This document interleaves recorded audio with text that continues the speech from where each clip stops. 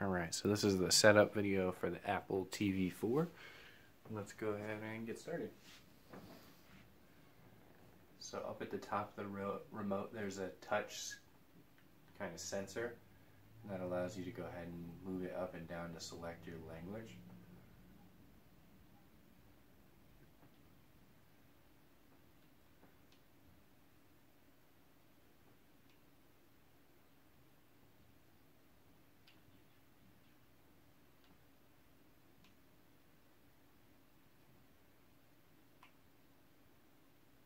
Go ahead and click in the touch sensor to go ahead and select.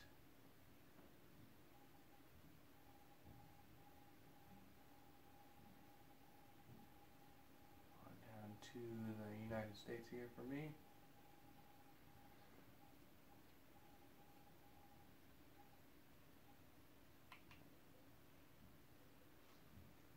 Gives you the option to go ahead and use Siri or not use Siri. I'm going to go ahead and use it.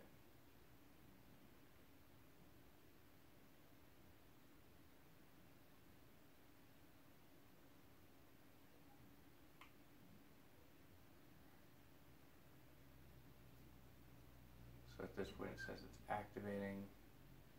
Now it asks for uh, Apple ID. This is where you're going to go through and uh, enter your Apple ID just for purposes of making this video quick, we'll go ahead and skip this step. It asks if you want to allow location services. Let's go ahead and enable it here. With the aerial screensaver, you can enjoy HD video of beautiful locations from all over the world. Additional videos can be automatic, downloaded automatically. Videos update weekly and can be up to 350 megabytes. The first download is about 600 megabytes. That's fine, let's go ahead and do that.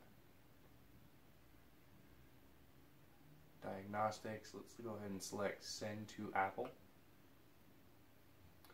App Analytics, we'll go ahead and share this with app developers. This helps for when you get crashes or something like that. And this is where you go through and you read their lengthy warranty here. I just went ahead and read that, so I'm going to go ahead and click agree.